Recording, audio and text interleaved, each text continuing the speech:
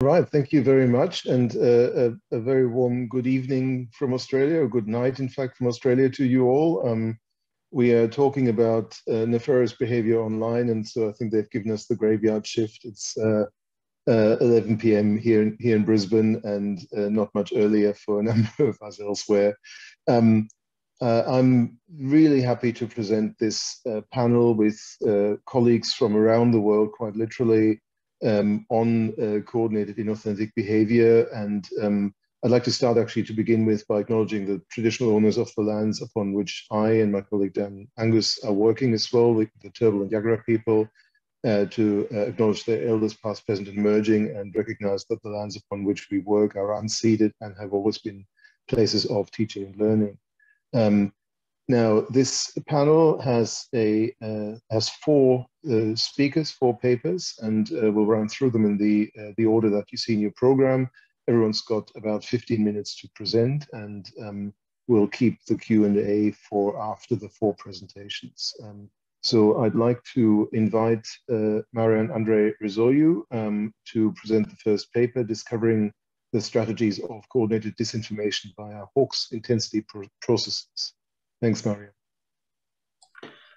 Thank you very much, uh, Axel, for the introduction. It's a, it's a pleasure to be here uh, and present our work. I will now uh, try to share my desktop and put it in full screen mode. Can, can you please show me a thumbs up if, okay, great, cool. So, hi everyone, thanks for, um, thanks for being here. Um, so my name is Marian Andrei Rizoiu. I lead the behavioral data science at uh, the University of Technology in Sydney. Today I'm going to be discovering, a, I'm going to be discussing about discovering coordinated disinformation uh, via Hawkes processes.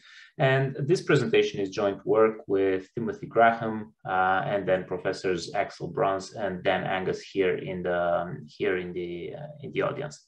Now I'm going to preface this presentation by uh, saying that I'm a computer scientist. So what you're going to see here is going to be a lens uh, from a computer scientist. So if some things don't look quite or quite right, we can blame it on that. So um, when it comes to computer science and, and disinformation, um, most works out there take a content uh, driven approach, which means that we deploy deep neural networks to learn from the past and try to predict the future. However, this suffers from what we call a red queen effect. You may remember in Alice in Wonderland when the red queen looks at Alice, which, who started running, and tells her, now all you need to do is run as fast as you can just to stay in the same place. We use the red queen effect to actually denote the fact that there is an arms race between us, who deploy natural language processing approaches, and, well, the adversaries, who all they need to do is change their approaches, tweak their language, do slight changes in order to uh, evade detection. What is our hypothesis and our solution?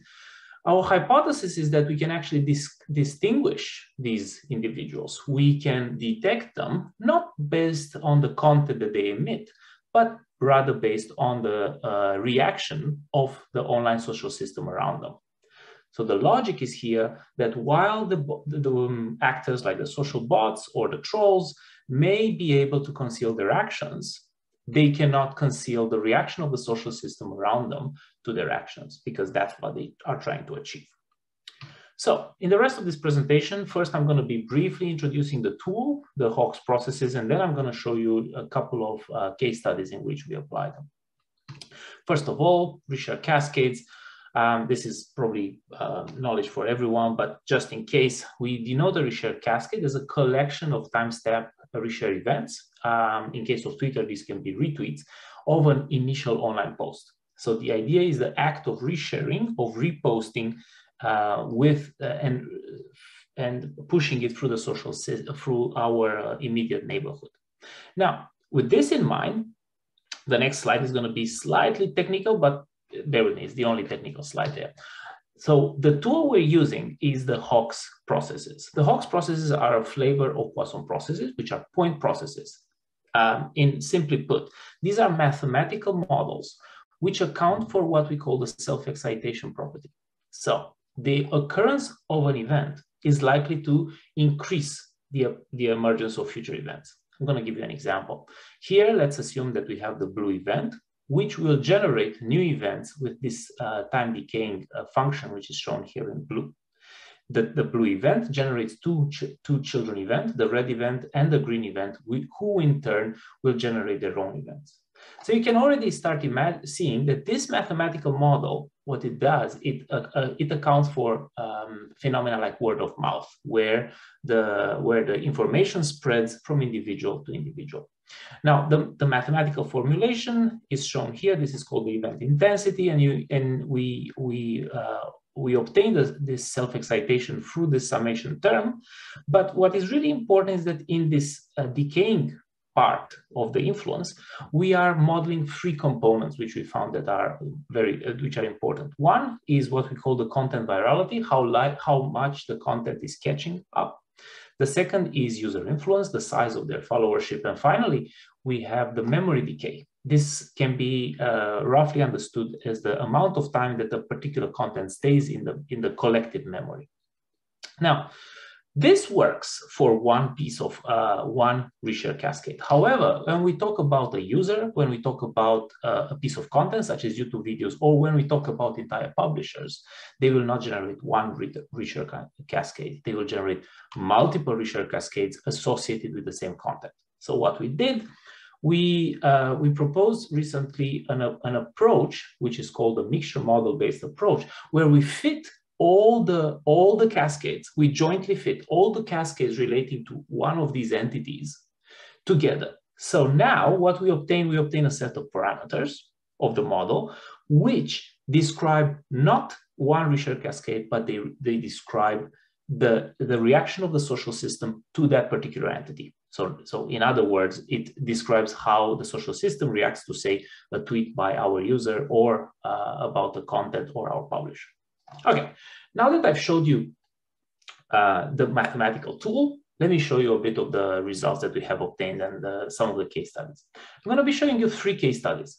The first case study uh, is separating controversial from reputable uh, news sources. This is based on two retweet uh, cascades, which were uh, provided uh, by um, by uh, the our colleagues in um, QUT. And in here, we have the Australian Twitter News Index, which follows um, um, high quality Twitter news, uh, news producers. Things um, This might not be very well known for our colleagues in Europe, but the Sydney Morning Herald, ABC, and CNN is well known, but uh, ABC, these are, are well known traditional uh, news producers. The Cynics, the controversial news index, is uh, following news producers such as Breitbart, Russia Today, and, and Red State, which could be by some standards considered controversial news sources. So what we do here, we take all the, all the cascades which are relating to the content produced by these producers. We put them through our models and then we plug it through a dimensionality reduction technique, which allows them to, pro to project them in, the two in a two-dimensional space. So what you see in here, in red, you have the reputable news sources, and in black, you have the controversial news sources. For a couple of conclusions, you can already see that the two types of news sources are separable in this space that we have created based solely on how their information spreads. We have not done any content analysis here. We did not read the, the sources. We simply looked at how the social system reacts to content emitted by these sources, and we find that they are separable. And in, in, in machine learning, separable means we can build classifiers. We can build automatic machine learning tools to, to classify content into these two categories based solely on how the social system reacts to them. The second case study is about uh, looking at social bots and online influence in, uh, in, in these cases in COVID discussions. Here I'm introducing a, a, tool that we have developed. It's called BirdSpotter. It is a software package designed at detecting online social bots and estimating online influence based on retweet cascades. It is aimed at non-computer science specialist is designed to be to have either a graphical interface like the one that I'm showing you here, or uh, can be used really easily in a couple of lines of code in Python or R, depending on um, depending on preference. Now, in here, what we did, we took um, a set of, of discussions around COVID-19 from January uh, last year, uh, January this year, and we did exactly the same thing. We project them in this space. So now each dot is a user. So we're taking all the cascades of users. But in addition to what I showed you earlier, we are also estimating their online influence. And we are trying and we are detecting if they're social, if they're bots or not. What do we see here? There's a couple of cool findings. One, you see that there is a, a clear separability between a, a, group of users where uh, most, most bots reside and uh, the other side. We see also that influence decays as we move to from the bottom left to the top right. And there's the, the, the conclusions we got here is that while most there are most bots actually don't have any don't have much influence. And we know that. We know that uh, most bots actually don't get much. However there are some who wield quite considerable influence. Such an approach could be leveraged to detect which bots we should uh, address or follow or at least keep an eye on. Um, finally, the last case study I want to show you is about coordinated disinformation campaigns during the Australian elections. So this data set was collected in the 2019 Australian election period. Um, we have about 70 million tweets um, and they were crawled using the hashtag AusPol, which is for Australian politics. Now, um, it, during those elections, our European colleagues again might not know, but um, there was um, there was a rumor that the left-leaning party wants to introduce an inheritance tax, and including the the treasurer, Australian treasurer, in, uh, weighed in and uh, sort of reinforced this uh, fake information.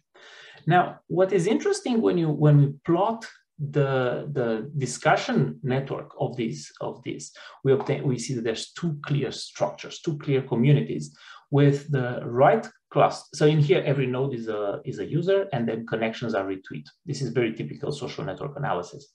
And what we see in here there's two two clear clusters and when we looked into the text that they emitted, we, we observed that the right cluster seemed to be pushing more of what we call the disinformation, and the left cluster was a debunking. But a couple of really interesting observations were also that the, the two do not look the same and they don't feel the same. The disinformation cluster is tightly connected. All of the users tend to, the central users tend to retweet each other. They tweet about the, the same times, and even the timing of the of the tweets is a bit, is a bit peculiar. Whereas the right-hand side cluster seems more like an organic, loosely connected uh, connection of users where you have central users tweeting and then a, a number of these uh, retweeters as you see these little clouds here in, in the different areas. There's very few connections between the two clusters. However, we can see a bit more when we start looking into the content of the clusters. So in the disinformation cluster, I'm showing you here um, I'm showing you here um, a word cloud of the use of what is being talked about. And uh, we see a couple of interesting uh, bits. We see some Nazi style references, things like sentimental jewelry, gold teeth, uh, spiteful uh, phrases. We see loose parents, uh, we see worth dead and truly screwed. And um, moreover, we see confirmative language, things like experts confirmed. We, uh, we have now proof of. Also not shown here um, the, the sentiment analysis of these of the text emitted here is quite interesting because it's both, both it's both more negative and more positive uh, than we would see in the debunking cluster, which tends to be more objective. Now that we're talking about the debunking cluster, it is the messaging here is mainly oriented around uh, calling out the disinformation. So we see fabricated, completely false scare campaign. And just to, to show you why we believe this is uh, this is uh, coordinated, I'm going to show you the exposure graphic. This exposure graphic tells you an upper bound on the number of people that have seen the messages in the two clusters. So in Twitter, you, you don't know how many people saw a message, but you can estimate the upper bound by summing up the number of followers of the users that emit a tweet. In blue, we have the misinformation, the uh, upper bound for the misinformation cluster. In red, you have the debunking cluster. Interestingly enough, the vertical line shows the date of the elections. As you can see, the, the misinformation activity ends on the day of the election, and every, virtually everything happens before the elections, whereas most of the debunking actually happens after the elections, um, which makes us uh, um, think a bit about the, the motives behind.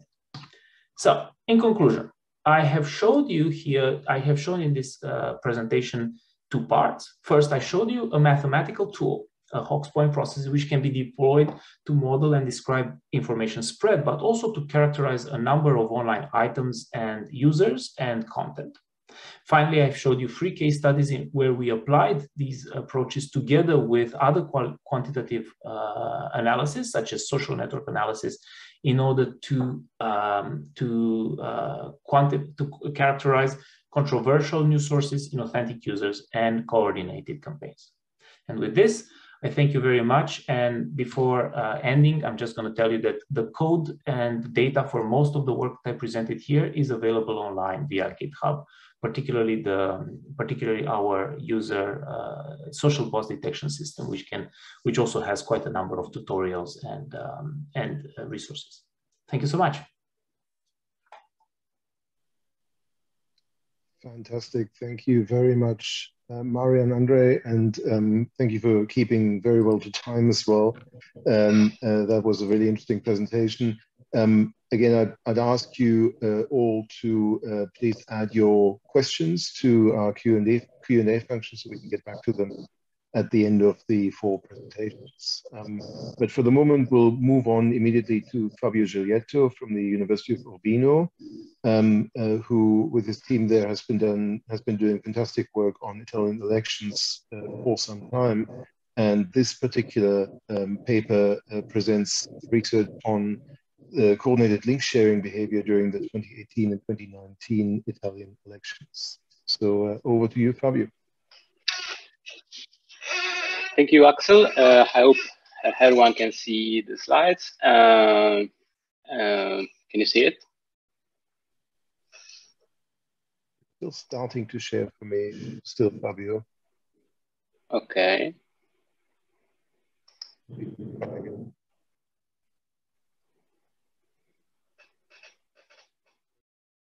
Should I go on?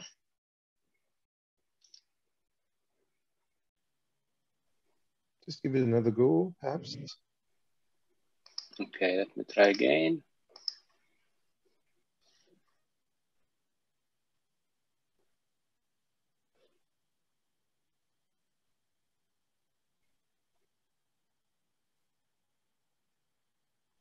I don't know if it's just me or if, if others have that problem as well. I think we can't, yeah, we can't see them yet, Fabio. I don't see it either. Okay, let's uh, let's do this. Um, if we can go on to the next presenter, I will try to understand what's going on, uh, and uh, I will be the uh, next or the last okay. presenter. No, no. Ah, no. Here we go. Hang on. You're there. Go for it. Oh, okay. so it took it took a while. Okay. Um, uh, thank you, everyone. Thank you, Axel. Uh, this um, I will try to present uh, the mainly the method we um, uh, we developed during the 2018 and 2019 election, but the, the um, the real title uh, of the presentation is uh, more around um, uh, COVID-19 disinformation. so the case study will be, the, the method will, will be applied uh, specifically to COVID-19 disinfo uh, in Italy. So uh, I will try to uh, give um, brief definitions of what we mean by coordinated link sharing behavior and uh, what we mean by um, how we use the ABC framework. And then we we will show how uh, the ABC framework uh, was applied in CooRnet. Uh, and finally, I will explain our case study. first of all, coordinated uh, inauthentic behavior uh, uh, and coordinated link sharing behavior, of course, are two related concepts, but coordinated link sharing, link sharing behavior is somehow a subset of the uh, coordinated inauthentic behavior, which looks specifically uh, to one um, very uh, limited uh, behavior, which is link sharing. Uh, basically, uh, the idea is that we look into um, two different things. The first is the amount of time um, used by different accounts on social media to share uh, the same URL, the same link. Uh, and then uh, we uh, look at the amount of repetition of this kind of coordinated behavior in sharing links. So the rationale is that while it may be common that uh, two different accounts on social media share the same URL maybe in a very short period of time, it is very unlikely that this happens uh, continuously or, or uh, at least very often. Um, so the idea is that on the one hand, we estimate uh, a time interval uh, which uh, identified uh, our uh, shares uh, in terms of um, potentially coordinated shares because they are shared in a very short period of time. And then we group entities depending on how much they repeated this coordinated behavior. And the, the tool is based on um, CrowdTangle link API endpoint. So we developed this R package, which is called CooRnet, um, and it is available uh, on uh, GitHub, uh, which exposes several functions, but the main two uh, are get uh, city share, which uh, basically query the CrowdTangle endpoint to get the shares for all the URLs you are interested into, and then the, the get code share, which actually detects the coordinated network. Um, uh, Marian already introduced the idea, the difference between uh, approaching disinformation by looking at the content uh, only uh, or by looking at different uh, kind of vectors. and uh, this is this was very well summarized by Camille Francois when she introduced the idea of the ABC framework, where you have um, actors, behavior, and content. Uh, and uh, the idea is uh, that if you focus only on content, you risk to um, look only at a certain part of the phenomenon. And plus it will be easy for uh, uh, those uh, trying to deceive to change their their behavior their, their, their type of content a little bit to uh, mislead uh, those who are in charge of uh, detecting this kind of operations. So uh, uh, CooRnet basically uh, uses this approach and process with CooRnet starts from a list of links, a list of URLs, and the system itself detects the coordinated link sharing behavior um, and outputs a list of actors who uh, have been involved in this kind of behavior, uh, in different networks.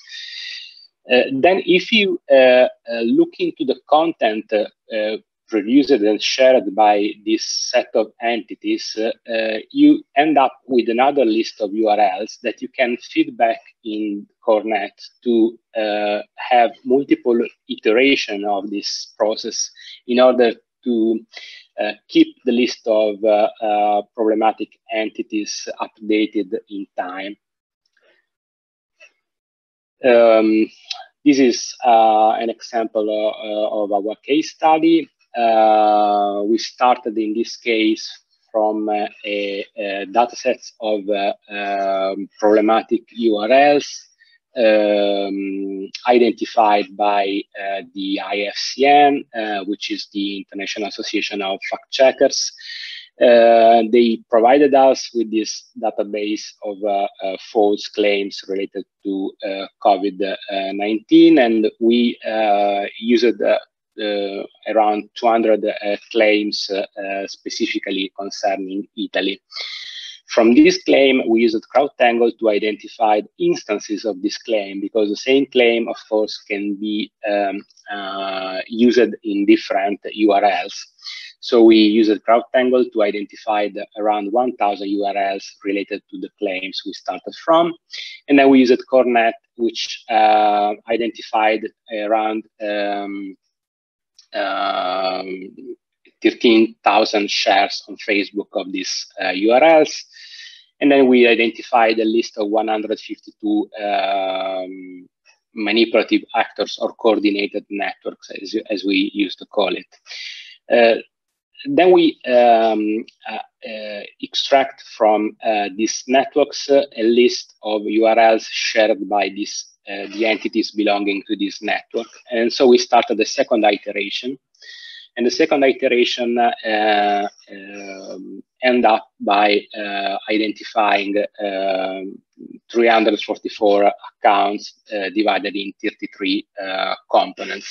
So once you um, have your final data set and you decided that the iteration you have been through are um, enough or you are already using the most up-to-date data, uh, then you can analyze the content. We use we used to do it uh, at three different levels. What we call the macro level, which uh, allows us to depict uh, a sort of uh, map of the networks we are um, observing. And in this case, you, you can clearly see that we, we identified several um, coordinated networks strictly re related with um, uh, conspiracy theory and uh, um, COVID skepticism at, at different level, including anti-5G uh, cluster. Uh, but the most in interesting part was the red cluster uh, you can see belongs to the main giant component because it was um, part of the political content and specifically um, closely related to the right-wing area. Uh, of the Italian politics. And when we zoom in on this cluster, you can see that um, uh, you, find um, political uh, entities, uh, um, for example, things like Basta Euro, uh, Stop Euro, uh, so um, uh, against the, the, European Union and the, Euro, and the Euro itself, um, anti-5G, New World Order, as well as um, pages and groups against vaccination when we look at the uh, amount of interaction um, uh, generated by this group of conspiracy uh, related um, uh, groups and pages and uh, we compared it to uh, groups and pages non-conspiracy related we observed that um, while both groups during the lockdown the Italian national lockdown uh, during 2020, they increased the number of interaction. You can clearly see that the amount of increase for the uh, conspiracy-related groups uh, is uh, at least two or three times more than the, the amount, the, the increase uh, observed for uh, non-conspiracy-related groups. And then at the meso level, you can um, deep uh, Eh, eh, dive into one uh, specific network. For example, in this case, in these cases, we're observing a network, a coordinated network act active in Italy since 2017. Um, but what it is interesting here is that um, the um, amount of coordinated activity uh, increased uh, in uh, in uh, during the month of the of the lockdown, and uh, they are still uh, using all the pages in their network to coordinate their activity, sharing the same links from the same domains in order to um, to share their content more broadly. Um, and you can also, uh, uh, when, when you uh, look into these uh, groups specifically, in these uh, networks specifically, you can clearly see how they changed the, their behavior over time to avoid detection and, and avoid being banned by um, or, or penalized by social uh, by, by, platforms. So, for example, in this case, uh, you can see that the same network uh, shared in a coordinated way multiple different domains over time. So they keep changing the domain they are uh, using um, and once uh, one domain becomes too um, um, uh, low quality to and, and penalized by uh, social media platform, they simply change the domain. So it's it's very important that when you design a study uh, which is used, uh, which is based on a list of pro- well-known problematic problematic domain, you have to keep in mind that uh, these things tend to change over time very quickly. Uh, and the strategy itself of posting links change. As you can see, uh, what they are doing now is uh, to post uh, the link in the first uh, comment of the post. So the link is not part of the post anymore, and it is very difficult to detect as a link post, both for, for, for platform and for us. And finally, at the micro level, you can look at single news stories. Um, uh, and this is uh, a few examples of uh, um, uh, stories uh, surfaced by this method. Uh, again, we're not looking at the content, we're looking only at the behavior. But once, once you look at the content, then you realize that the content is problematic as well. And CooRnet also allows uh, you to uh, draw this uh, kind of charts uh, where you can see uh, the uh, total number of shares over time and who, which actor on social media contributed with their share to increasing this amount of shares. And I will uh, stop here. I, I hope that uh, um, it was possible to see me because uh, and to hear me because uh, um, I'm uh, my my screen is, is all uh, frozen. So I will just stop here and we'll see what happens. Thank you, Fabio. We could we could see your presentation well. I don't think we can see you at the moment, but we certainly could see your presentation. So thank you, thank you very much. Um, I the more I, I, see these presentations, I want to just steal everyone's methods and, and do more work. It's just fascinating to see this all. Um, so uh, thank you very much for that, and again for keeping to time as well. Um, we'll move on uh, immediately to my colleague Dan Angus, presenting work on uh, recurrence plotting for detecting duplicate online posting activities. Over to you, Dan. And I think, Fabio, you might have to stop sharing your screen. If Fabio can. Oh, yeah, fantastic. Thank you, Fabio. Yep. Perfect. Um, my internet's just been a little bit dicey, so hopefully everything works okay and we don't get any outages. Um, so yeah, thank you so much, Axel, and um, to the other presenters. Um, I'm presenting this paper on behalf of a small group of us here. It's uh, QUT uh, DMRC, um, two of which are actually um, since the initial kind of rescheduling of this have since departed us. So Tobias Keller, he's now back in Switzerland in private industry, and um, and Dr. Brenda Moon, who's um, moved on into other adventures, but um, but certainly still with us is um, Timothy and um, Axel as well. So yeah, this is a small study of um, the use of a technique that I'm kind of fond of, I guess, I've, I've used for some time called recurrence plotting. And um, the thought of how we could use this, this particular mathematical technique to aid in detecting duplicate online posting activities um, online.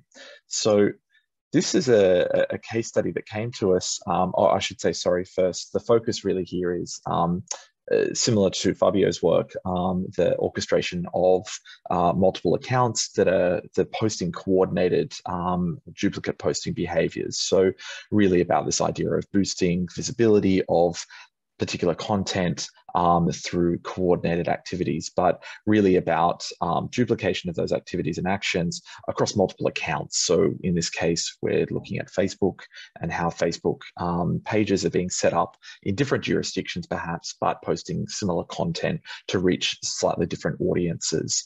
Um, as we get into the case, you'll see it's kind of active in, in different um, jurisdictions such as Australia, Canada, um, America, and, and others. So the case study came to us through some um, connections we have with The Guardian um, here in Australia, who kind of like to come to us for advice around um, particular online mis and disinformation activities, in this case, um, some far right activity that they had been clued into. Um, and it resulted in this, this article, which is a, it's a fascinating insight into the kind of behind the scenes of some of these, um, these operations and um, and so I, I, highly recommend you you read this article um, if you haven't already because it does go into some detail and they did do a, an amazing amount of journalistic work to kind of discover the, the motivations and, and some of the activities of the administrators um, in, at the center of all of this.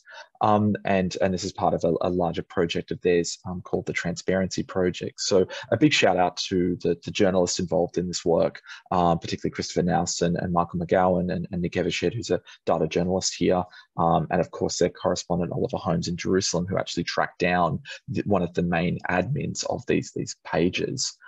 Um, so essentially what they'd uncovered here was a covert plot to uh, take over essentially a lot of these far right pages. So these far right pages had existed on Facebook for some time, um, and they revealed that there was a particular agent or actor who managed to find their way into an administrative role inside these Facebook pages and then essentially start to convert or, or, or, take ownership of the kinds of content that was being posted on those Facebook pages. And really, the motivation here was commercial. Um, what the Guardian um, supposed and, and, and kind of dug around and found out was that um, largely this this one actor was setting up a bunch of websites that were being loaded with click you know google ad based revenue generation um, services. So there were 21 facebook pages that they discovered within this coordination network. Um, you know more than a thousand coordinated fake um, news posts per week were being posted to these pages and linked back to a small number of these these kinds of fake um, news sites. Now use the word fake news. I know it's a very problematic concept. Axel and I are working very hard to kind of move beyond this, but to describe these, these are these are pages set up that are posting you know nonsense content um, that is dressed up as news content, but purely for this um, commercial, uh, commercially driven means. Um, the reach of these um, is, is greater than a million followers. So we're talking about a significant operation with significant reach here. Um, and as I said, funneled these audiences to a cluster of these 10 or so ad heavy websites. Um, now, some initial analysis of the data that the Guardian shared with us showed that yes, there's something very dodgy going on here. So the first thing we did was look at, for example, the, the timing of posts made to pages um, for particular periods. So this is from the 1st of February 2018 to the 1st of November 2019. And what we've done here is just in Tableau done a simple aggregation across a number of these pages to look at the time that posts are being made. And what you can see here is that posts are being made pretty much on the top of the hour. So very much at the zeroth minute um, with some you know other posts being dotted around in other times. So immediately for everybody in the room you smell a rat here that you know something is is definitely up with this. Um, but digging a bit further what really struck me was um, not just the timing but the actual the the ordering of the posts um, but the subtext that I should kind of explore here as well and, and, and give you a bit of an insight into is the kind of gradual nature in which this admin, this, this key admin at the center of the story, had taken over these pages. So this graphic that the, the Guardian um, provide in the story gives you an idea of this, that these pages um, had perhaps existed and, and were posting organic far-right content uh, you know, ahead of this this kind of January 2018 takeover, where at which point you start to see a switch into this more kind of duplicated posting activity.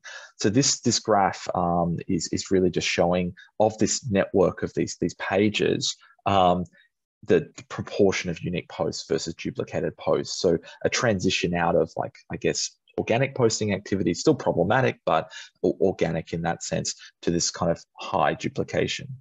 So what does this look like? So if we colorize um, you know, an individual link to an individual one of these, um, these problematic news stories um, and look at this in, in this kind of a view here where every line represents um, an individual post made to one of these pages.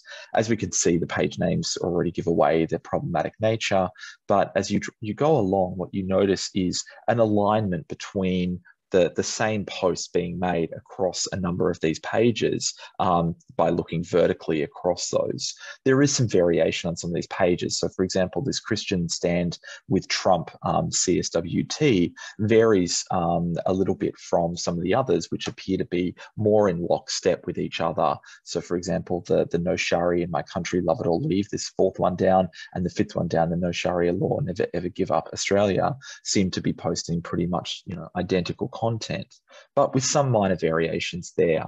And it's at that point that I started thinking, well, could a technique like recurrence plotting help us make sense of uh, and give us a numerical way to assess the degree of this, this repetition of content. So within this as well, um, with some of these, I was wondering, is it that they are all posting necessarily the same information on the same time, or is there time shifts going on? Is this operator perhaps waiting um, and, and shifting things out by, by some time period? And recurrence plotting is um, a good technique to get at this because it doesn't necessarily rely on the exact timing information um, to indicate a match. And I'll explain that in a little bit. So with recurrence plots, these are an old technique that were developed um, from the, the late 80s. Um, and um, here is an example of them in use in, in other kinds of studies. So um, this is with a weather system, the Southern Oscillation Index. Um, and within that, you see how within that SOI, um, as this index varies, you get these recurrence lines. So there's this kind of uh, diagonal line that's running up the side, if you, you can isolate any of these off the, the kind of midpoint of this graph, if I annotate this, that might make it a bit easier, sorry. So what we're looking for are, are these, these kinds of diagonals that indicate that this system that we're studying is repeating itself but it's repeating itself offset in time. So in this way, you can pick up if a system is repeating itself, but it's doing so at some say, you know, days, hours, weeks, months apart. So how much is this system actually going through the same trajectory through some kind of uh, a phase space? If we look at these human ECG recordings, you see a much tighter kind of periodicity, and you see this, you know, lots of these diagonal lines running through. So then applying this to um, to our study of this problematic news content and this URL sharing, um, we're going to look at one of these. And sorry, I'll just get rid of this annotation um, from the screen. Um, now, I realize this is quite faint um, and, and, possibly quite faint on your screen, so I'll, I'll try and um, annotate it as we go through. But what we do is we take a sequence of posts made to these pages and we give each a unique ID. So a unique URL gets a unique ID. And then we take two different pages and we use what's called a cross recurrence plot. And within that cross recurrence plot, we line up the posts in the order that they were posted to the page. So it doesn't matter if there are days or hours apart, it's just the strict ordering of the posts. We line them up across those two axes. And then what we look for are any points at which there are intersection similarities between those. Now, proper recurrence plotting can do other things. It can embed, um, do things like time shifting and time embedding. Um, but in this, we keep it quite simple, very much to um, an embedding of one. Um, and so you really are just getting the strict matches. And what we see here is in the first um, period of time of these two pages, this what I call phase one, we don't see any recurrence points. So that suggests that for that early part of time, these pages are posting different content. there's no you know, similar content being shared. As we move into the next period here, there is a little bit of sharing. So we see repeated posting activities early in this phase, um, and then we start to see the emergence of, of this faint diagonal line. But then it's in this third phase that we see this, this very straight and, and very continuous diagonal line uh, appearing, which suggests that these two pages are posting the same links in the same order within uh, on those two pages. Um, and that's what we're really interested in is trying to locate those diagonal lines that suggest that the same um, information is being posted in the same order. So going one step further, there's a series of tools called RQA, recurrence quantification analysis, that we can use to not necessarily just visualize this, but um, numerically quantify this kind of um, activity, this kind of coordination. And there's three measures that I think are of interest here um, to measure the dynamics of recurrence between these two time series. The first is determinism, which is really what it means is the percentage of recurrence between these series arranged purely on those diagonal lines. And so if you've got two systems that are, um, in this case, two Facebook pages, which are posting the same content in the same order um, from start to kind of finish of your time period, you would get a determinism of one. Anything less, if you've got completely different content, you would get a determinism of zero.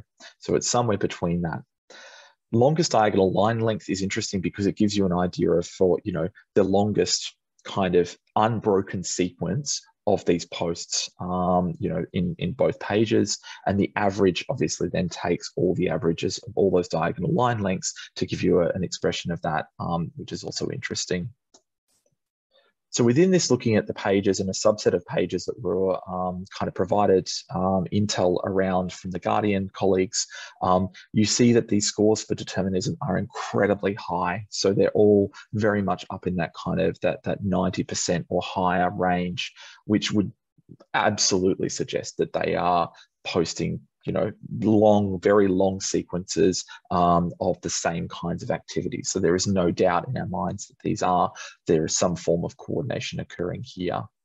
Um, if we look at the average diagonals, that's absolutely the case. So we're seeing sequences, uh, you know, in the kind of you know, average of seven or, or so, um, you know, sequenced. Um, and then there might be, say, one organic post that is made to those pages that is different. Now, that is interesting because aside from, okay, they're coordinated, so what? This gives us an understanding of the kind of average sequence length before they might interject with some other kind of content, maybe to throw people off the scent or to kind of, you know, given the personalization of these pages, um, so that that kind of more that degree of takeover perhaps by that particular administrator. And then the longest diagonals is, is interesting as well. In one case um, of two pages here, the assimilate or migrate, and Australia says no more refugees, um, we see this whopping huge um, diagonal. So this suggests there was a one kind of unbroken string of posts that were similar between both of 521 links without a single post that broke that that sequence out. So absolutely no question um, that those two were under full control of this administrator in posting that content.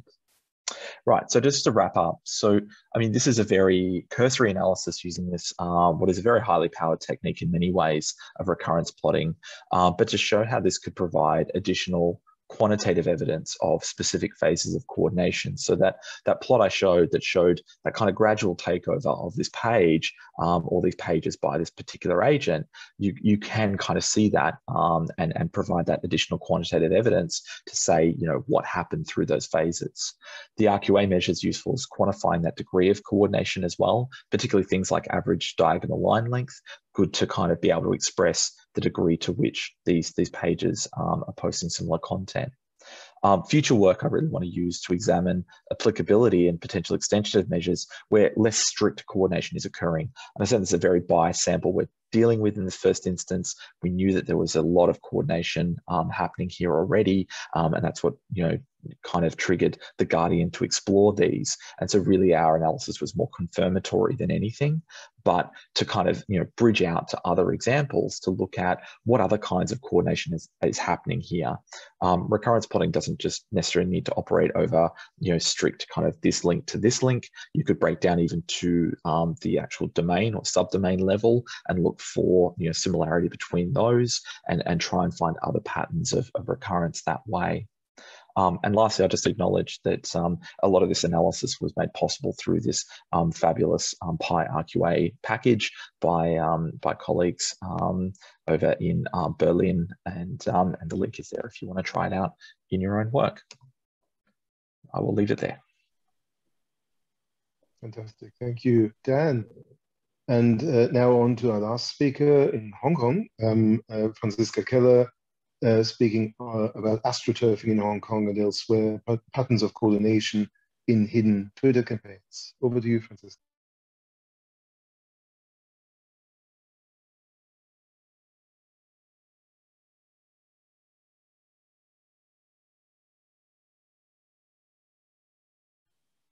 And you're muted.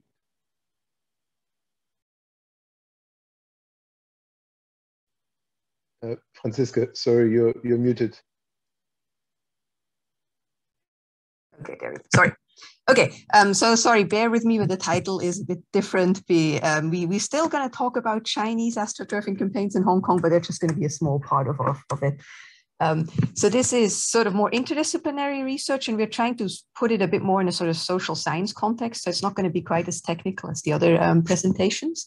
Um, and it's um, co-authored with um, David, who's um, computer scientist, Sebastian, um, political um, scientist as I, and JungHwan, who is political communications.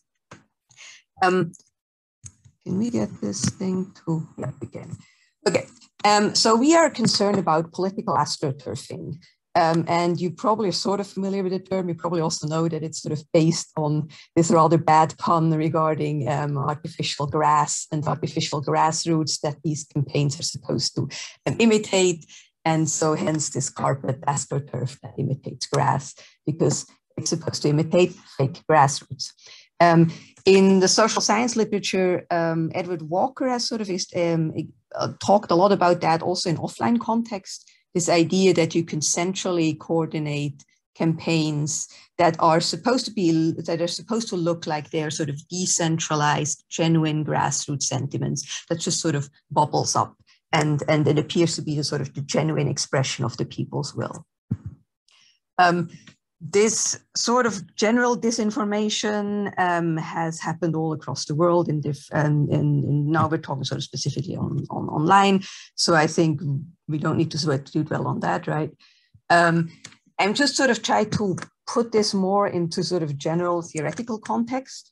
Um, and so what we are sort of struggling with is the fact that i think a lot of the literature focuses um, or you, used to focus a lot on social bots which we just see as one particular tool of that can be used in an astroturfing campaign. You can either pay people or you can program an account to behave like a paid um, person. Um, and so we're just we're we're we're we don't want to criticize this sort of bot detection literature too, mu- too much, but we think it sort of tends to focus too much on the um, um, automated nature of the account as opposed to what we're usually really interested in, which is sort of a campaign that tries to influence public opinion. Um, it also doesn't necessarily need to contain fake news. So astroturfing can be completely composed of just spreading factually correct information, but we would still call it a form of disinformation because there is a sort of deception involved on part of who the accounts um, claim to be.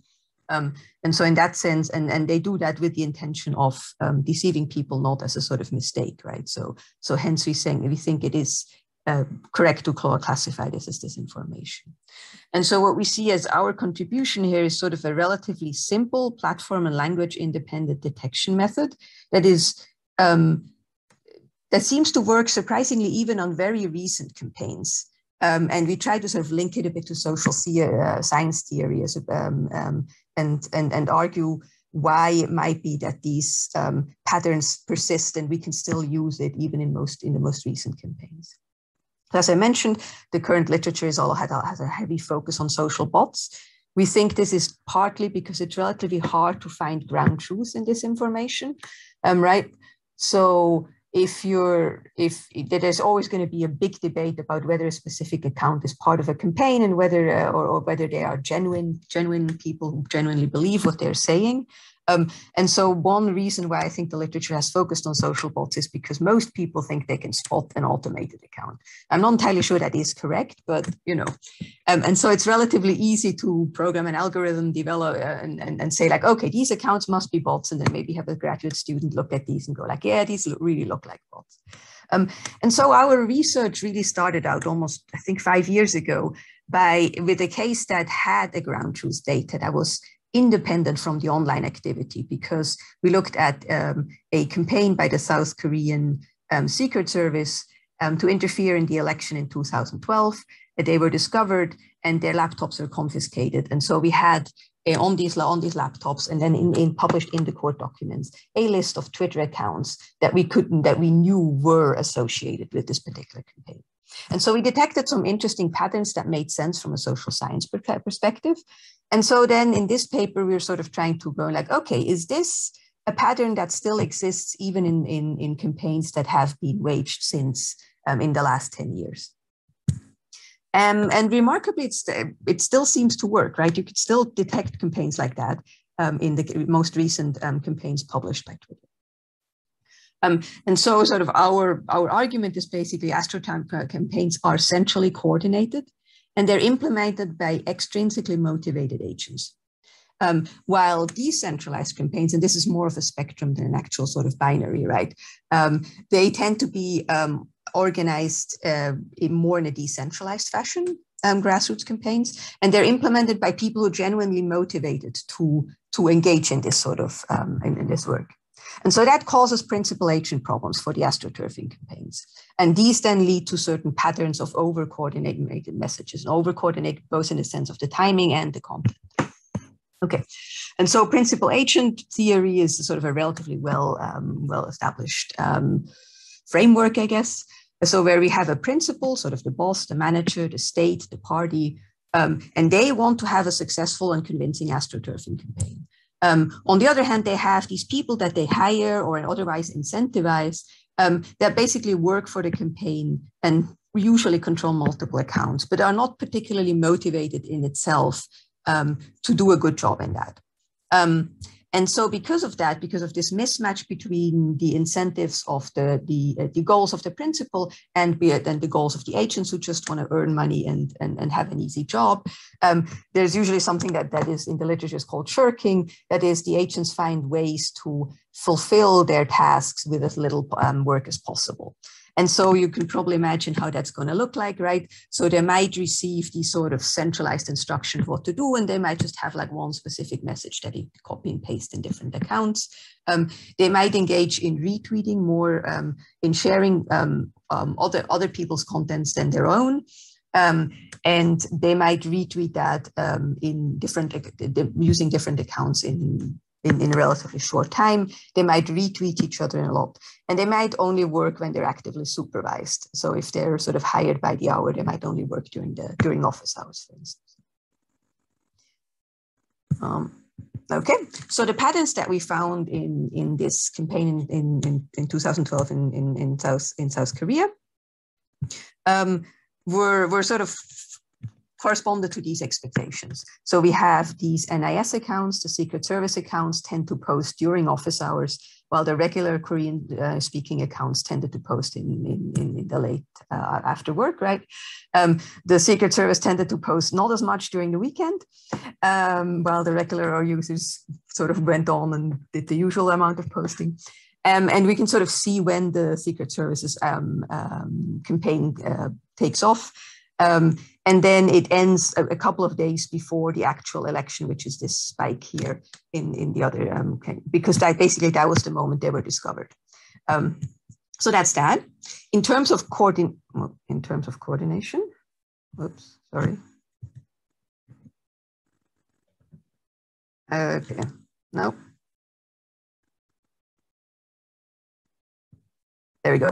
So what we discovered among the Secret Service accounts is there's a lot of retweeting. That's just a picture I want to take, uh, that, that a message I want to take, uh, want you to take away from this herald here. Um, if we look at the actual sort of co-tweeting behavior, so each circle is an account, each uh, line is an instance of whether they posted the same information within one um, minute time window. Um, then you can see these sort of clusters emerging, or these sort of all, almost independent, some case independent components in the network. Um, and in this case, particularly, we also have the information on which agent controlled which account or was the main responsible of the account. And that this is indicated by the numbers. So you really see sort of each agent was controlling multiple accounts and tended to tweet similar things, right? So that's why you have these nice little, um, nice little clusters there. Same thing for co-retweeting. Again, there's also some connection across the agents. So we still have sort of larger components, um, but there's also these sort of very distinct components for each agent, basically. Um, and then we use this to sort of detect additional accounts by looking at Um, do you retweet more than 50% already known um, uh, astroturfing accounts, or do you co-tweet or co-retweet with them? And we found additional accounts that also looked rather suspicious of, on, on manual inspections. And we know that there were more accounts involved in this campaign because there was some intense negotiation going on between the, the prosecution and the defense um, to kick out certain information. So that seems to sort of correspond to what we think is we should be finding. And so the question then is, well, this was almost 10 years ago now. Surely astroturfing has evolved and people are getting more sophisticated. So this shouldn't really work in, in more recent campaigns, right? So we went to the Twitter archive on elections integrity, um, where Twitter has sort of disclosed um, um, campaign disinformation or specific sort of inauthentic uh, coordination um, in the context of elections.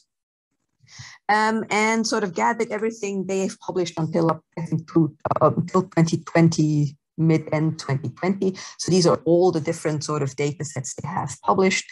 Um, not all, some data sets contain different campaigns in the sense that they target different countries.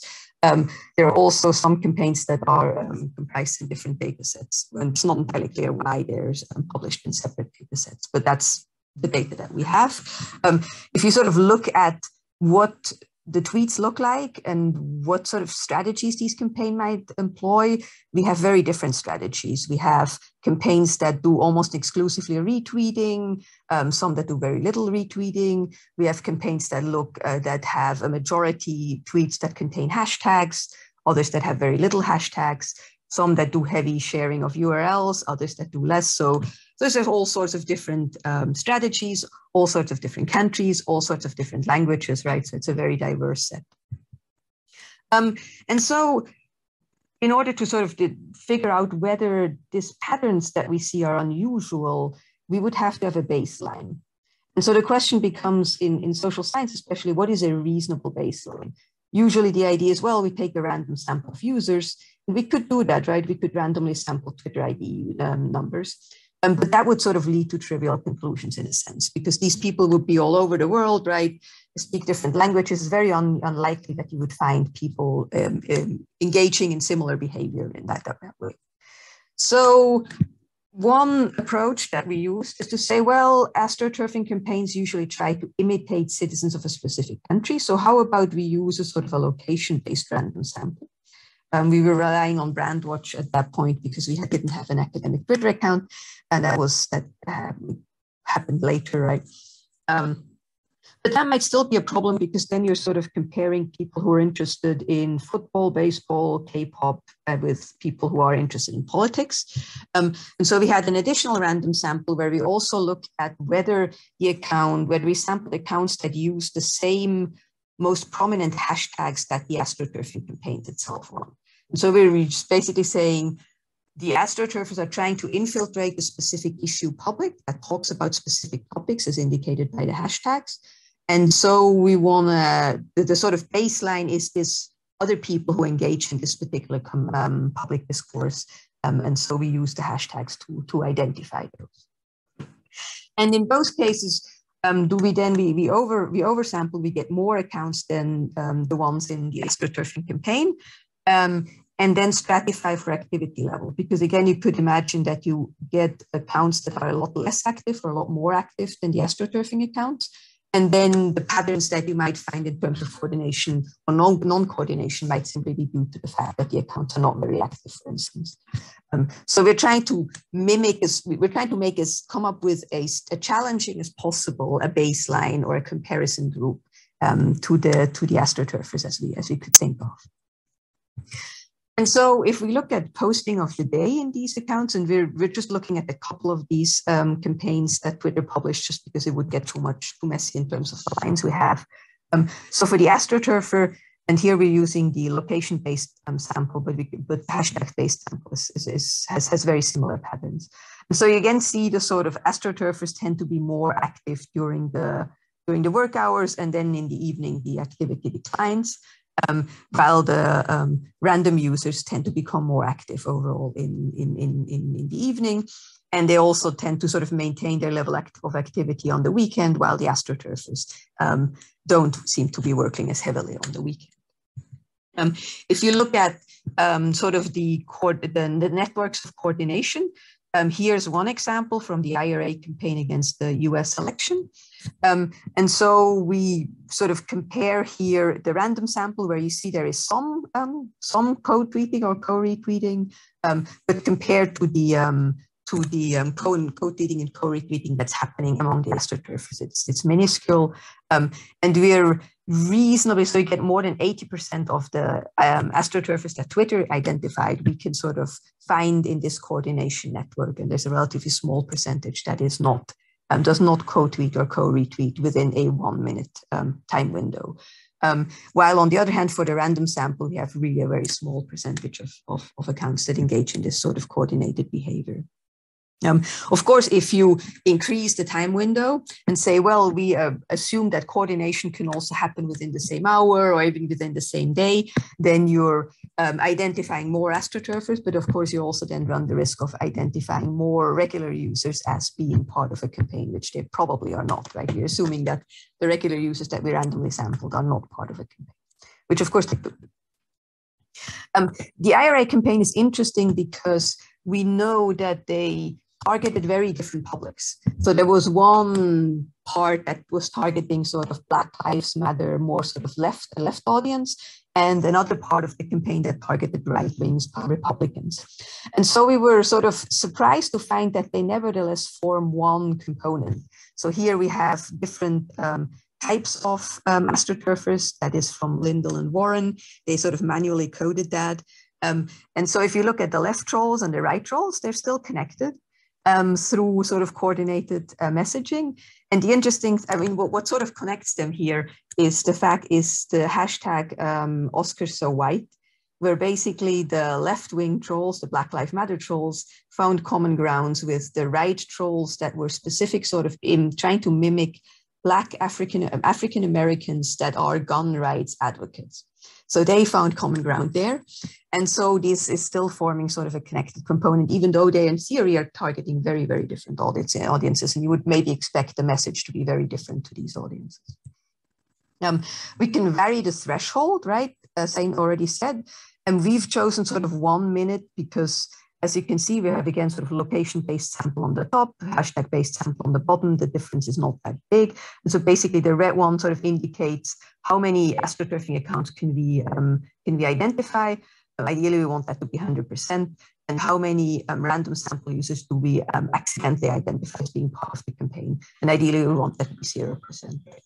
Um, and so um, one minute doesn't seem to be too bad a sort of a, um, a, a general cutoff um, because that's usually the place where um, in the in the random sample you still you don't have a lot of coordination at that level. Um, but you could sort of increase it as well up to an hour or maybe more, or even sort of a work day, and it would still work reasonably well. Um, and so I've just in sort of like how well does this sort of very, very simple approach, right? How well does it do in terms of identifying the, uh, the, the, known astroturfers? um, quite well across most of the, of the, of the data sets, right? On average, it's 75%. There are some campaigns, but not necessarily the most recent ones, right? Um, where, where it doesn't quite do as well as, as, as, as, in, as in some of the, um, some of the other campaigns um, which we sort of found was rather surprising, right? We would sort of hope that, hey, don't these people learn and find more sophisticated ways of coordinating? Um, and, and, and we didn't really find much of that, right? You could imagine you could increase the time period between the messages sent to make it a bit less obvious, right? You could maybe vary the messages a bit, just add a word here, subtract one here, right? And we've done a bit more of the sophisticated stuff as well with machine learning, natural language processing, but it really didn't seem to add much to that. So we sort of, in the end, we boiled it down again to the very basic thing. Um, but partly our theory might explain why, right? So preventing this sort of shirking behavior and, and, and copy pasting and doing very simple stuff is costly as well for the principal. And so the principal might decide, well, yeah, my agents are not really putting up a very convincing astroturfing campaign, a grassroots campaign. Um, but you know, as long as we manage to fly past the radar and get our message across, if then like two months later the, the researchers figure out that we've done something wrong, you know, we've already done our we've done our work, so we don't care. Um, but that might also mean that this uh, that astroturfing campaigns might actually remain detectable through these relatively simple um, simple methods.